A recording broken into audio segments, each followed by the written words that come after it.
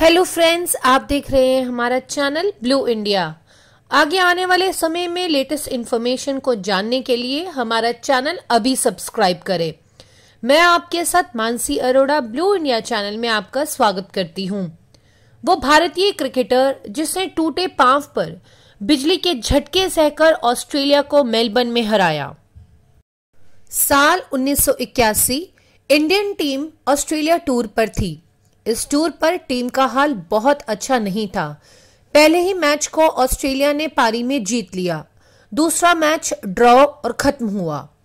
फिर बारी आई Melbourne test की। ये टेस्ट बड़ा मशहूर है, कई वजह से। इसमें सबसे बड़ी वजह तो ये कि सुनील गवास्कर का वॉकआउट था। खैर, पहली पारी में एक सौ बयासी रन से पिछड़े भारत ने बेहतरीन खेल दिखाकर यह टेस्ट जीत लिया था। इस जीत के बाद गुडप्पा विश्वनाथन को मैन ऑफ़ द मैच चुना गया। उन्होंने पहली पारी में सेंचुरी मारी थी। मैच के बाद कपिल की भी खूब तारीफ़ हुई। कपिल देव ने दूसरी पारी में पाँच विकेट लिए थे, लेकिन इस मैच के दौरान सबसे बहादुरी का काम करने वाले बंदे को आज तक उसका ड्यू ही नहीं मिला। आज हम इसी बंदे की बात करेंगे। नाम दिलीप दोषी, काम लेफ़्ट आर्म स्पिनर टूटे पाँव से खेले। दोषी ने मेलबर्न टेस्ट की पहली पारी में तीन और दूसरी पारी में दो विकेट लिए थे। यानी ऑस्ट्रेलिया के एक चौथाई विकेट दोषी के हिस्से आए। लेकिन आपको शायद ही पता हो कि यह विकेट किस कीमत पर आए। दोषी इस मैच में पाँव के फ्रैक्चर के साथ खेले थे।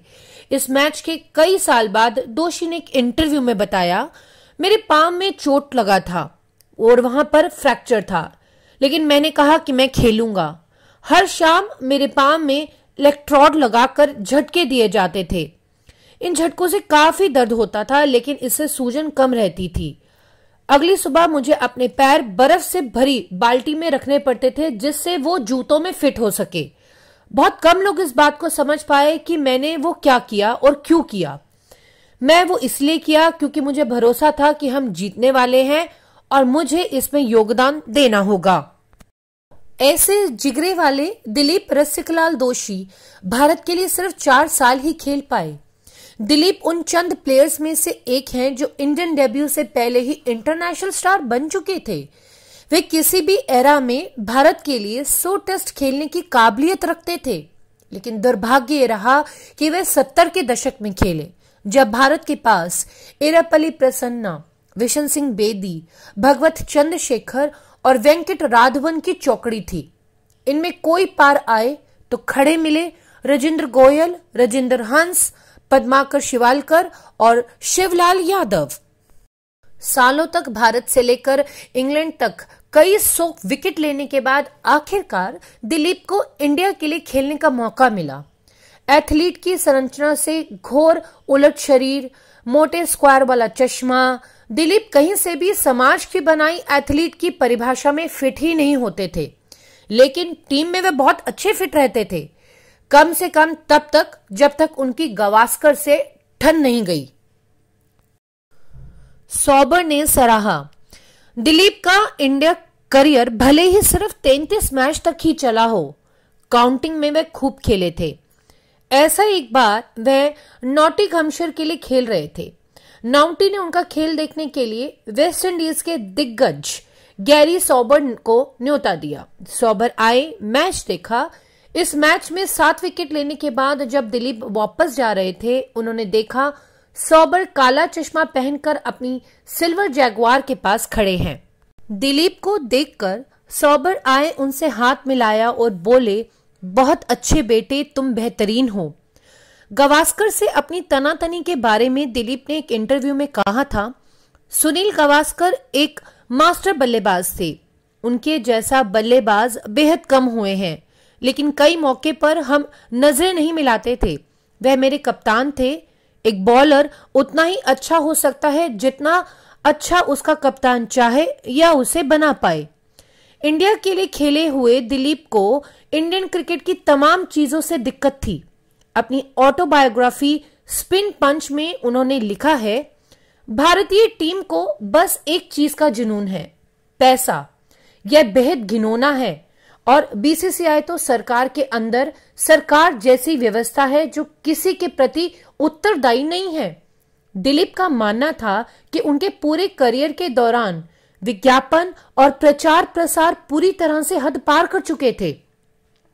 उन्होंने एक वनडे मैच से पहले के हालात का ज़िक्र करते हुए लिखा था, पूरी बातचीत, sponsorship, prize money, logo royalty और मैच फ़ीस के इर्द गिर्द थी। क्रिकेट पर तो सबसे अंत में बात होती थी।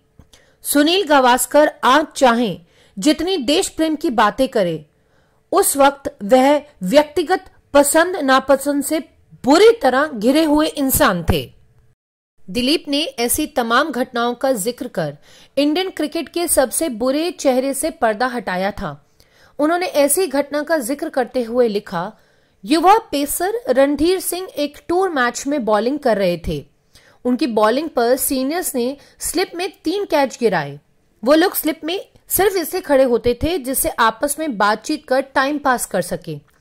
लगातार कैच गिराने के बाद माफ़ी मांगना तो दूर किसी ने इस तरफ़ नोटिस तक नहीं किया।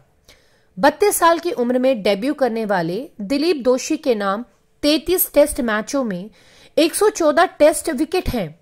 22 दिसंबर उन्नीस सौ सैंतालीस को पैदा हुए दिलीप दोषी इंडियन डेमोक्रेटिक क्रिकेट में सौराष्ट्र और बंगाल दोनों के लिए खेले थे। फ़र्स्ट क्लास में उनके नाम आठ सौ अट्ठानवे विकेट हैं।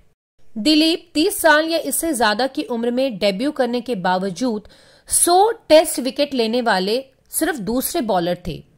क्लैरस ग्रिमेट ऐसा करने वाले पहले बॉलर थे। इस लिस्ट के बाद में सैयद अजमल और रियान हैरिस भी जुड़े। ऐसी तमाम रोचक इन्फॉर्मेशन को जानने के लिए हमारा चैनल ब्लू इंडिया सब्सक्राइब करना ना भूलें। और अंत में इस वीडियो को प्लीज़ लाइक ज़रूर करें।